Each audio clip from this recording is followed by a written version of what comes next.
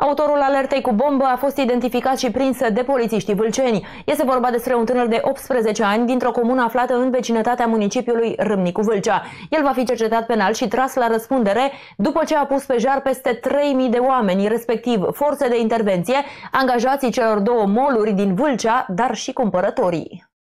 În urma cercetărilor, poliția Vâlcea a aflat cine este persoana care a alertat la 112 că o bombă a fost amplasată într-un centru comercial din Râmnicu Vâlcea. Este vorba despre un tânăr de 18 ani din comuna de Ești, aflată în vecinătatea municipiului Râmnicu Vâlcea. Tânărul va fi cercetat pentru apelare abuzivă la 112 în cazul alertei cu bombă de la MOL. Nu se cunosc în aceste momente motivele pentru care tânărul a recurs la acest gest. Cert este că în urma amenințării sale, aproximativ 3.000 de oameni au fost puși pe jar, forțe de intervenție, poliție, jandarmi, pompieri, SRI, SAS, angajații celor două moluri din Vâlcea și cumpărătorii.